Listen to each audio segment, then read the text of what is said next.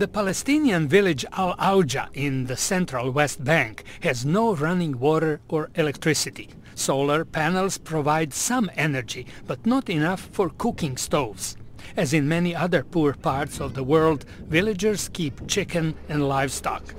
Three months ago, with help from the European Union and the Peres Center for Peace, about 40 families started using portable devices that turn food scraps and manure into methane gas, suitable for cooking and lighting.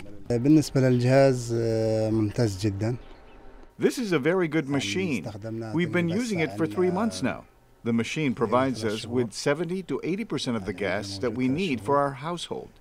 The Tiva gas biodigester was designed by the Israeli company Home Biogas. Like many other biogas generators, it relies on the natural ecological energy cycle. The waste is going in, in, the gas is going out to cook a new food.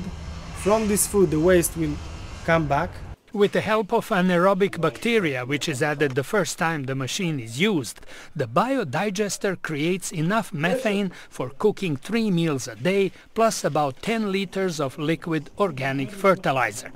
Biogas is smokeless and odorless, and in addition to cooking, can be used in water heating and lighting devices. A built-in manual grinder helps break down the solid parts in the kitchen waste. The home biogas system is designed for areas where the daily temperature does not drop below 15 degrees Celsius. The price is about $2,500, not affordable for most families, so communities have to rely on subsidies from governments or private donors. But designers point out the system can also be useful in more affluent areas with access to organic waste that can be turned into clean energy. George Putic, VOA News, Washington.